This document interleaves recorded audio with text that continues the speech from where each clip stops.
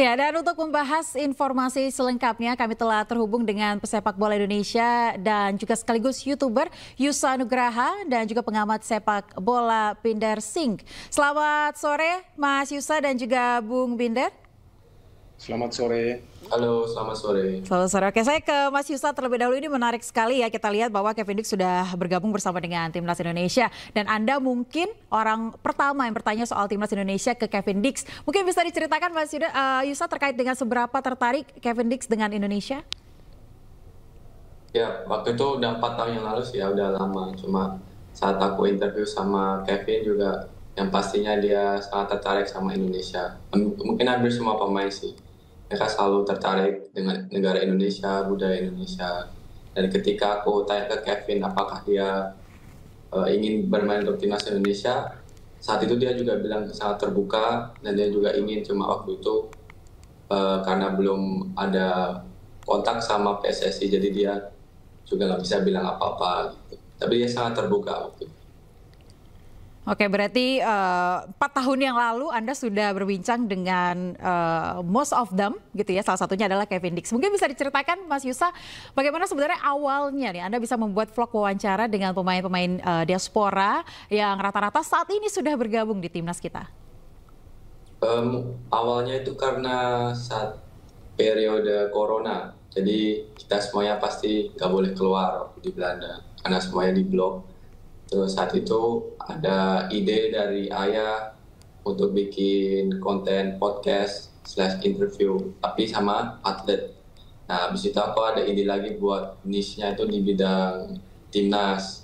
Nah, ada pemain-pemain, baik pemain keturunan di Belanda yang menurutku bisa memperkuat timnas Indonesia. Jadi aku mulainya dari temanku sendiri, dari Mace Hillhurst, yang sekarang juga udah join timnas Indonesia. Nah dari Mace, feedbacknya dari supporter, dari netizen, semuanya positif, bagus. Jadi dari situ aku lanjutin terus buat interview podcast sama pemain keturunan. Akhirnya juga sama Kevin Dix juga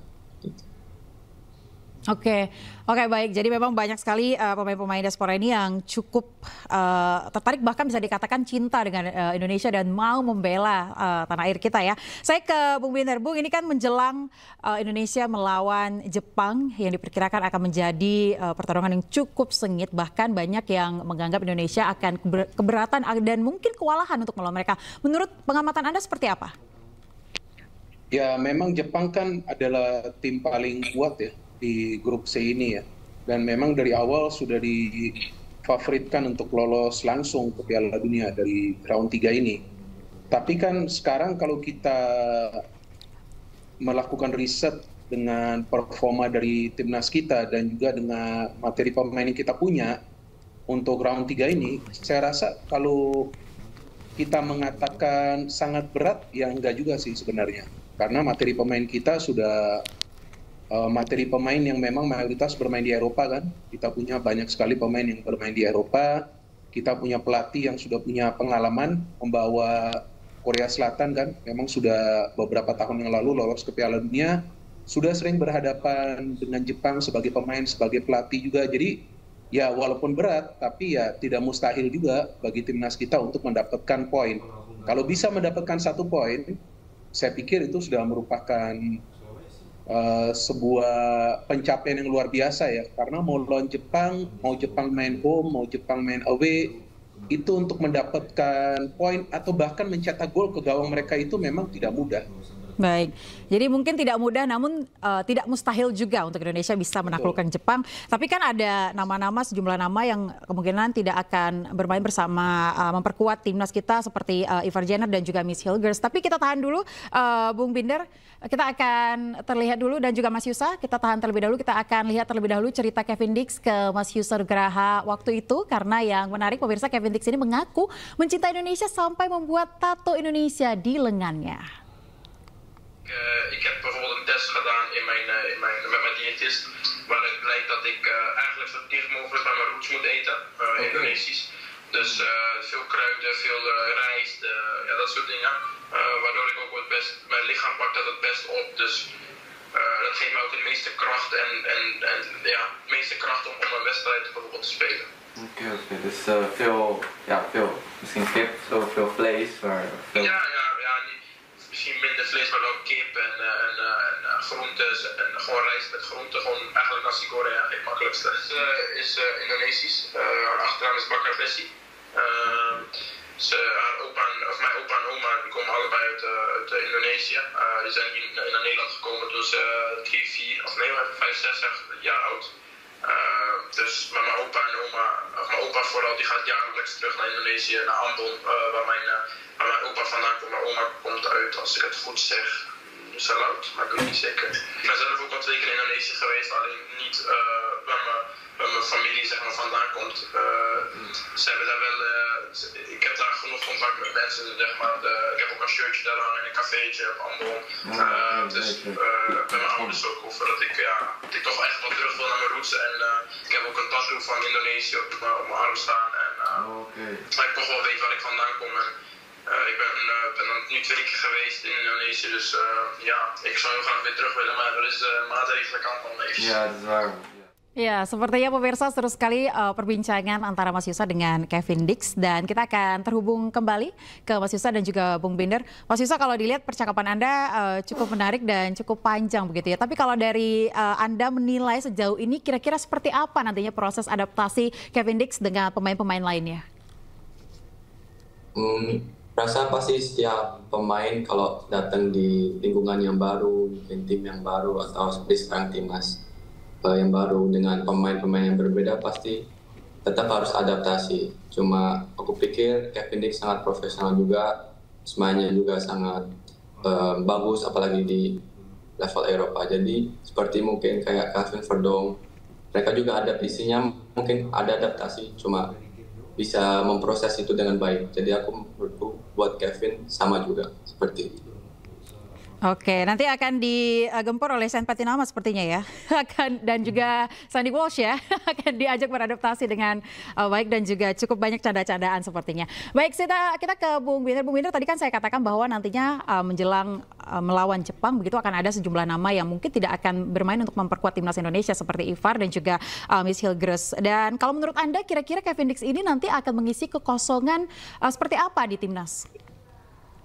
Ya saya harapkan Kevin Dix bisa bermain ya lawan Jepang ya. Kalau sekarang ini kan informasinya masih 50-50. Kenapa saya harapkan dia bisa bermain? Karena ini kan pemain yang selain juga punya kemampuan di atas rata-rata ya.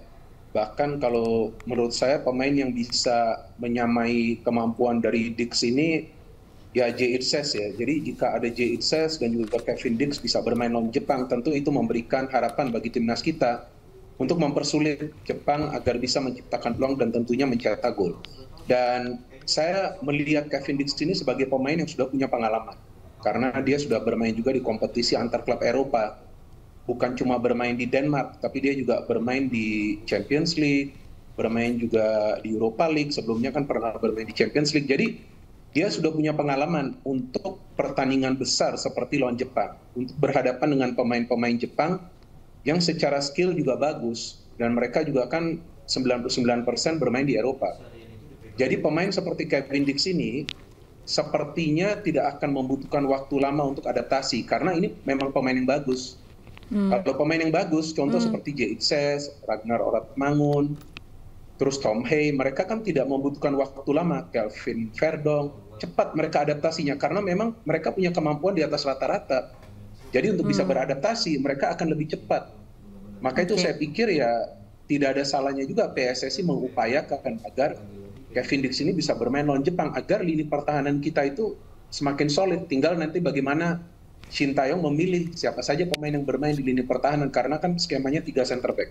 Oke, jadi Anda pikir akan banyak uh, fans-fans kita yang menunggu uh, performa dari Kevin Dix apalagi pada musim ini dia cukup rajin mencetak gol di klubnya yeah. ya, Bung? Betul, walaupun okay. dari penalti ya.